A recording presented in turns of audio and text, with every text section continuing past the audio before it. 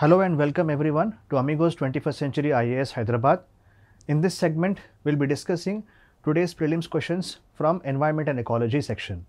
But before I proceed with this particular explanation, I have to tell you that because environment and ecology is interdisciplinary subject, so it may overlap with geography, science tech and biotechnology. So let us start with the first question. Consider the following trees, jackfruit, mahua and teak.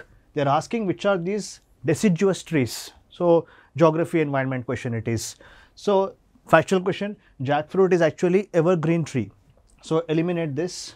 Mahua and teak are deciduous trees. So the answer is 2 and 3 but because this year they have asked 70 to 80 percent questions on only 1, only 2. So there, has, there is not much chance for elimination techniques here. So let us go with 2 are the right options here, only 2 is the right answer. So you can see here answer is B because first one is evergreen tree but not deciduous tree. Explanation is there here. You can pause anytime for explanation on the video and check it. I want to be quick and in brief because I understand aspirants would want to know the answers and a brief explanation as well. So, I am going to keep my explanation very short. If you have any questions, you can post in the comment box. I will be happy to reply. So, second question is regarding marsupials. Oh, I forgot to tell you, this is from set A and I have also maintained the numbers also from the current set. So, set, set A questions I am discussing in this current segment, numbers also correspond to the set A. Fine. So, Marsupials are pouched animals as example kangaroo, wallabies. So that is not naturally found in India. This option is right. Statement 2 marsupials can thrive only in mountain grasslands with no predators. Seriously? No. Definitely every animal has some predators. Kangaroos also have predators like wild dogs are there. Sometimes humans also are there. And they are mostly present in Americas, Australias and we call this as uh, in Indonesia islands also. That means they are not found in India, that is correct option.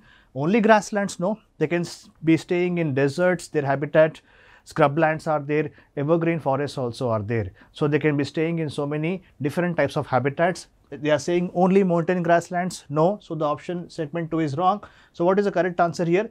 1 is correct and 2 is incorrect means answer C should be right here. Yes, as you can see here, all current existing marsupials are endemic to Australasia. Wallacea means Indonesia islands and the Americas and habitats are tropical rainforest, deserts, dry scrublands. Hope this explanation suffices. Next one, invasive species database who will prepare IUCN. IUCN makes a red data list where they give the conservation status of various species. In the same way, invasive species are very dangerous for the ecosystems they will try to eliminate the endemic species. So, the database of this invasive species actually is made by IUCN, International Union for the Conservation of Nature. Maybe the option got somewhat, uh, uh, maybe it was not typed properly. It is IUCN, fine. That is the answer here. And uh, next one, lion-tailed macaque, Malabar civet, cat, okay, sambar deer. Which of the following are generally nocturnal or most active after sunset? We have a word for that. For example, if some species they are active only after the night, nocturnal species. Diurnal means active during the day. And there is another word called as crepuscular. Crepuscular. Crepuscular means they are active during the dawn and dusk when the light is very less. That means they don't like the sunlight to be there out in the open. Does not mean never they will be found there. For example, Lion-tailed macaque stays endemic to western Ghats. You can see that on the top of the tree canopies also endangered species it is. As per IUCN, Malabar civet, forget about night, you cannot see it. It is so elusive species, very shy. Hardly you can see Malabar civet. Of course, it is nocturnal. It is critically endangered also. Sambar deer is vulnerable and state animal of Odisha. Sambar deer you can sometimes see in the day at some places, but the point is they are most active after the sunset time. That means answer should be 2 and 3 but because they will not give 2 and 3 what is the answer here? Two options are correct means here B is the right answer. Okay? And next segment. Which of the following organisms perform waggle dance to tell their you know kin? To talk about the direction and distance of source of food. Very interesting question have to always observe nature animals and birds see so many questions are there in the exam because of course Indian Forest Service exam prelims also is linked with the remaining uh, civil services posts. That's why many questions come from the environment. But again, it is a very important topic for any competitive exam. So usually honeybees will do this exercise near their hives or sometimes near the flowers. You know, they will be doing some kind of waggling dance and they will try to show uh, the direction of the food by keeping the angle of their dance aligning with the movement of the sun or direction of the sun. That is very interesting. You can observe anytime you go near the flowers in any gardens. So, honeybees perform this dance, C is the right answer. And mushrooms question. Many such questions came in the exam. One good thing is ilanti questions, लो in this kind of questions. Questions ऐसे questions में क्या होता है almost all are so you can take a little bit risk in this kind of questions. You'll be seeing more and more questions like this where the answers are all correct. Fine common sense has to be used. Some mushrooms have medicinal properties. Yeah mushrooms are fungi. Some of them have medicinal properties. Some of them are psychoactive properties. Halluc hallucination psychotropic substances. Sometimes some mushrooms will be taking you on some kind of a trip. If you watch the film Midsommar, you can find this you know, direct application of this particular mushrooms. If you eat them, you will go into some kind of hallucination. Yes, it is there. Some mushrooms have insecticidal properties. Yes, they can be used as natural biopesticides. It's right. They have bioluminescent properties. Some of the mushrooms, there are so many varieties of mushrooms. Some of them can be, you know, bioluminescent means naturally they emit light. They will glow in the dark. Yes, all options are right. Explanation provided with the names of the fungi or the mushrooms what are there. For example, you can see here some of the fungi can have metabolites and through biotechnology you can use them for the medicines. What about psychoactive properties? There is one here psilocybin. Okay, it will show psychotropic reactions and then biopesticides means here mycopesticide is a pesticide you can use from the fungi or the mushrooms. It is very helpful okay and bioluminescent also is there so you can see Panellus stipticus okay that is the names of the mushrooms which are exhibiting these properties all are correct so answer is D there and next question Indian squirrels now this is somewhat controversial question because Indian squirrel means what there are around 40 plus species of squirrels in India Indian squirrel means is it the normal Indian palm squirrels what we see near our houses or Indian ground squirrels or Malabar squirrel. So UPSC has not specified that. So depending on what UPSC thinks of Indian squirrels, the answer could change. For example, they build nests by making burrows in the ground. Ground squirrels will do that. Indian palm squirrels will not make nests in the ground. You can see them on the coconut trees, right? On many of the trees.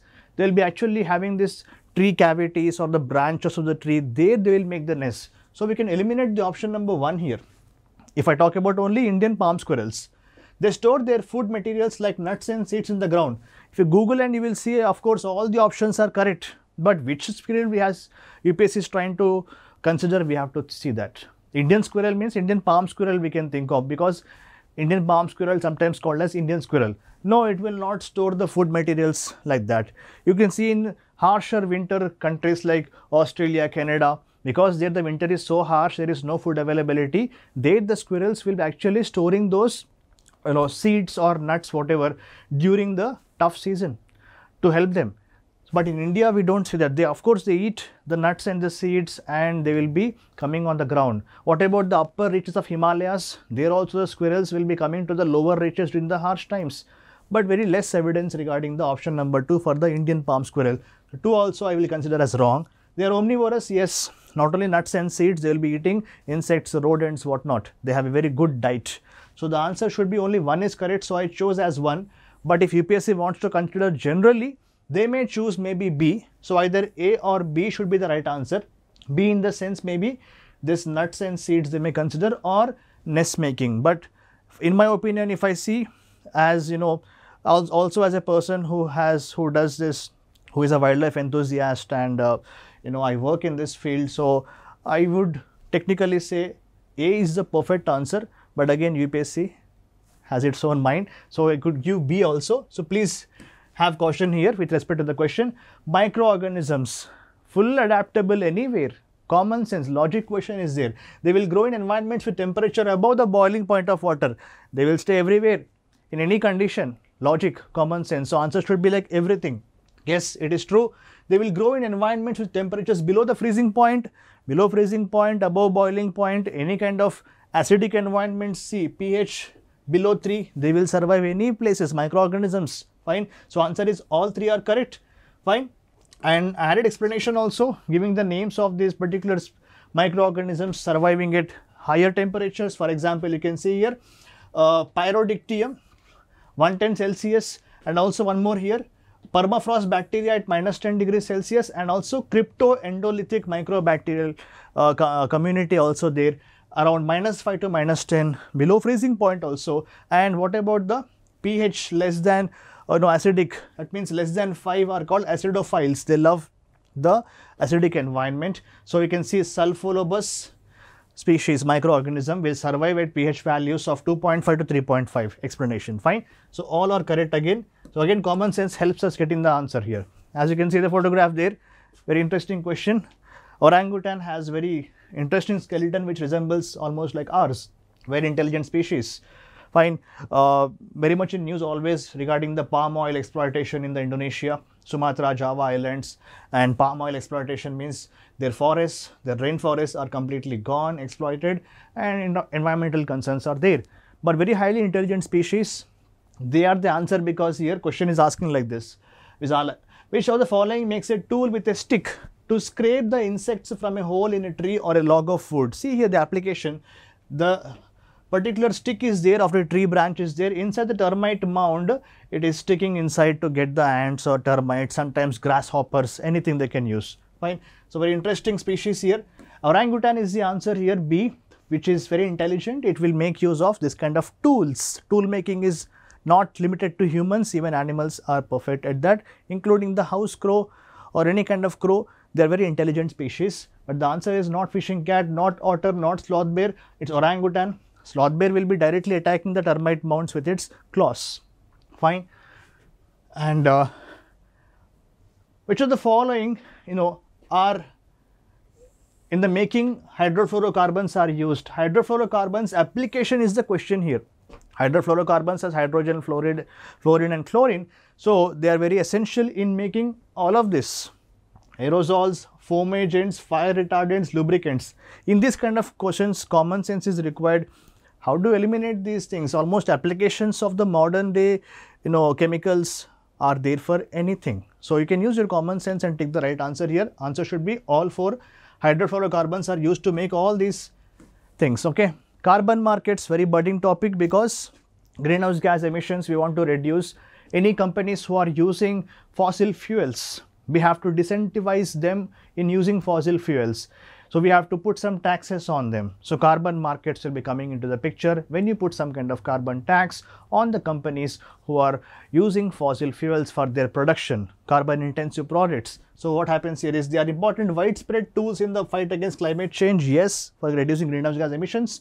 Statement 2 is carbon markets transfer resources from private sector to the state. Yes, they do because private sector owns the resources. Now the state is able to interfere into that and state is able to put some kind of taxation to those companies. That is the explanation of this. This uh, particular statements has been taken from I think Economist article that is what I have found in my research. Fine. So explanation doesn't match however. They are essential for fighting climate change but there's not talking about resources in the first statement. I cannot link first statement explanation with second explanation. So I can say both of them okay are right but the explanations doesn't match. So the answer should be both statement 1 and 2 are correct but statement 2 is not the explanation for statement 1. Fine. So private sector can fight against climate change, state can also fight against climate change that does not directly correspond to the statement 1. So I will go with option B here. And next question. Central government when it notifies an area as community reserve, what is going to happen? Generally, state governments notify an area as community reserve. Uh, when any village councils, they are saving their forests. By consulting with them, what happens is the state government usually notifies that particular area as a community reserve. So, in India, we have as per Wildlife Protection Act 1972, protected areas are there national parks, wildlife sanctuaries, conservation reserves, community reserves. So, conservation community reserves came as per the 2002 amendment to the act. So, as per community reserve, what are the restrictions here? Once an area is notified as community reserve, it comes under the control of the chief wildlife warden, means forest department. That is option 1 is uh, true. Hunting is not allowed in the area. Obviously, protected area hunting is not allowed.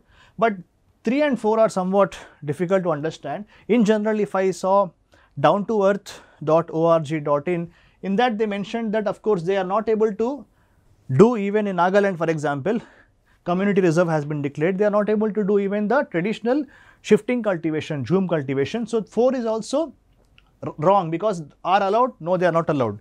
First one is of course chief wildlife warden becomes in charge, forest department. Hunting is not allowed also is true. We got two right options here, one wrong. Now, 3 whether it is right or wrong is I am also not quite sure about because in general they cannot collect even non-timber forest produce, but in some areas they are collecting. So, the answer sounds somewhat different now. Should I go with answer only two are correct because they are not allowed to collect even you know, timber, non-timber forest produce, no agriculture, no shifting agriculture, nothing like that. But some, uh, you know, there is not much evidence to uh, tick the option 3 as uh, as wrong. So, I will be going with B here or the answer could be uh, 3 also. It means B or C could be the right answer. So, let us uh, wait for the final key which of course comes next year and let us uh, because we cannot take a one single stand here or if I find any information later on this I will be posting again in the comment section. Okay. So, B or C could be the right answer here. There are at least 2 3 questions like that fine.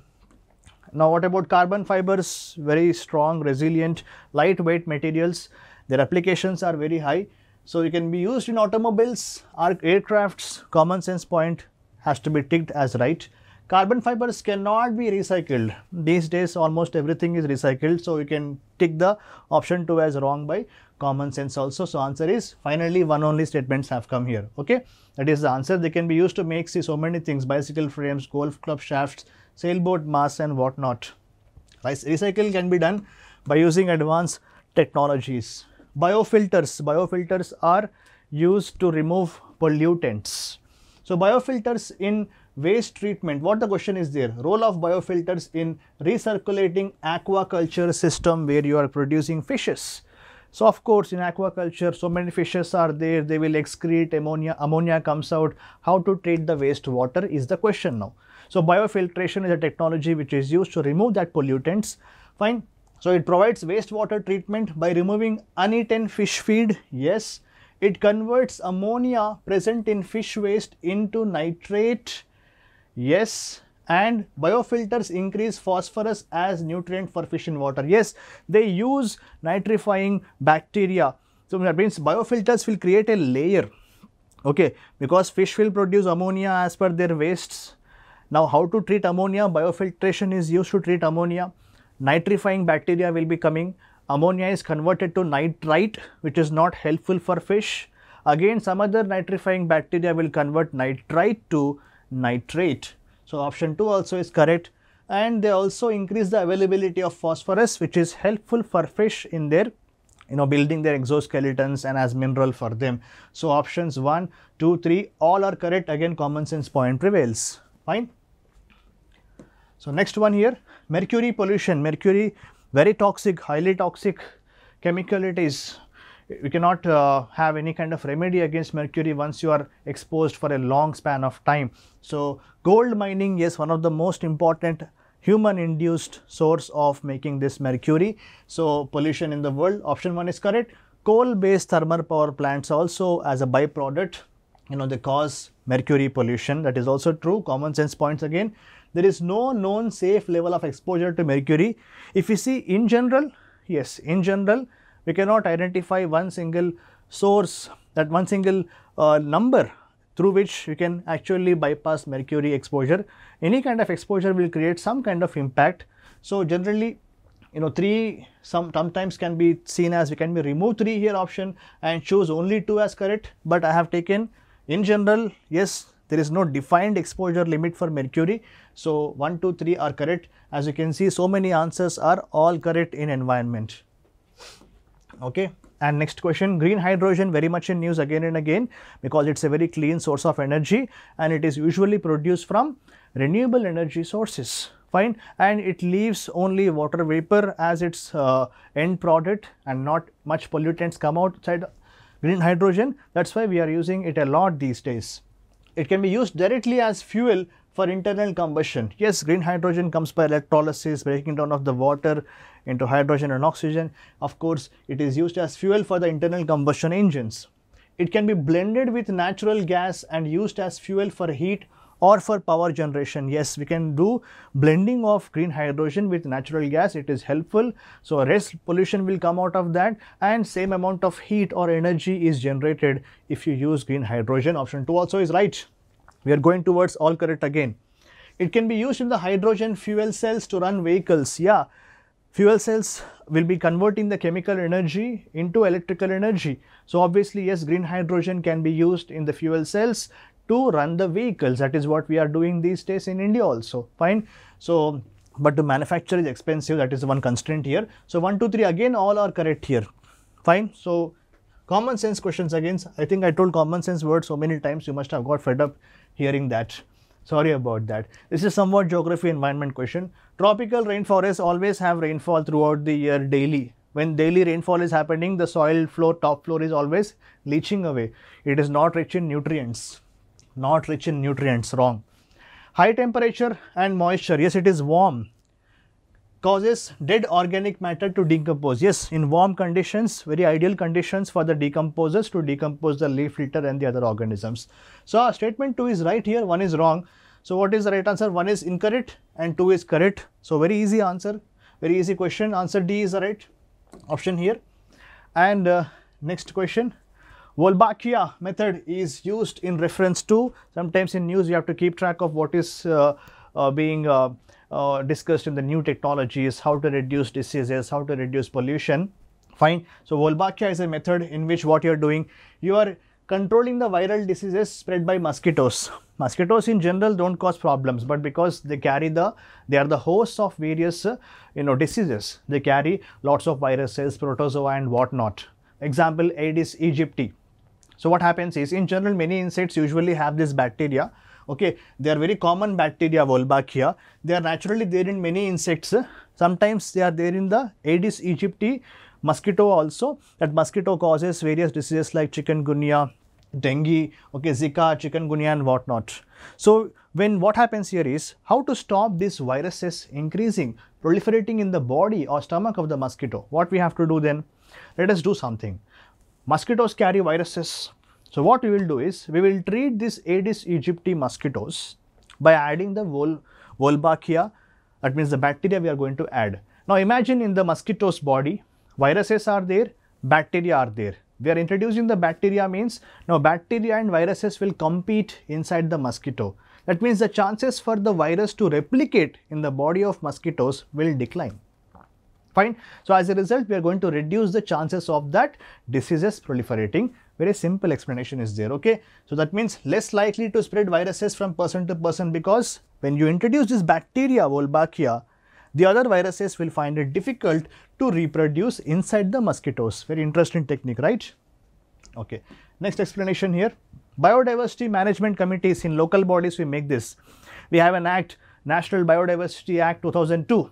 As per the act, we also created what? At the local bodies level, BMCs, Biodiversity Management Committees. They will prepare the biodiversity register with the help of the local population. What all? Example like you are having some small village. At the local level, they will be making the Biodiversity Management Committee. What their task is to prepare the biodiversity register. That means what all biodiversity exists in that particular local locality and they have to make sure that it is used sustainably. There is al already a protocol Nagoya Protocol is there, 2010 protocol signed in Japan, which talks about genetic resources access. Many countries in the world, India, Africa, they have some traditional, you know, a lot of resources, genetic resources are there. We need to save and conserve them. There are so many indigenous communities who are actually sustaining on those resources.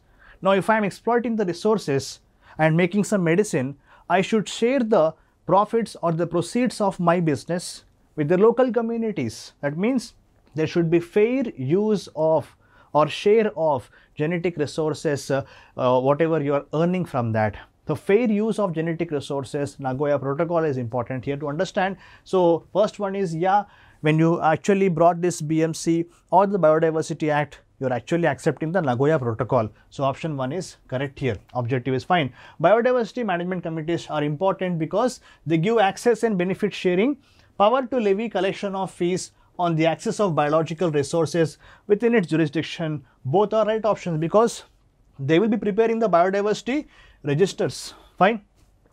So, they have to make sure that whatever resources are being used in their local areas, they should be properly compensated for that. Fair use should be there. They can be levying some taxes also on the people who are using the resources. Very interesting point here, okay. So, both are correct here. And next option, last question I believe 99th yes. Heavy industries geography question fertilizer plants oil refineries steel plants they all use different sources of energy green hydrogen is expected to play an important role in decarbonizing how many of the above industries? Yeah, green hydrogen is seen as a very important replacement renewable fuel. So, what we are going to do now, we can use green hydrogen as an alternative to the other energy intensive, carbon intensive fuels what are there, we can reduce the you know dependence on that we can use green hydrogen instead in all the industries, fertilizers, refineries, steel plants and everywhere you can use it. So, that means even though see here today it is only 0.1 percent of the world hydrogen production, but it is highly promising we want to make it more and more easily accessible so as to replace the traditional fuels, traditional carbon intensive fuels what we are using and we should replace in these industries green hydrogen fine. So, as expected green hydrogen I was expecting this year they will be asking two questions came from this area. So, overall if I ask, if you say uh, environment ecology was little bit on expected lines and they have asked the traditional topics and the current uh, area also. Animals and birds it is not a surprise usually we can expect questions on that every year. You know Indian Forest Service exam is linked with the um, civil services exam. So, that means you can always find environment questions. That means geography environment if you add roughly around 35 questions have come bulk area. So, please do prepare properly and hope the explanation has helped you except one or two questions remaining keys I am quite sure about. Thank you.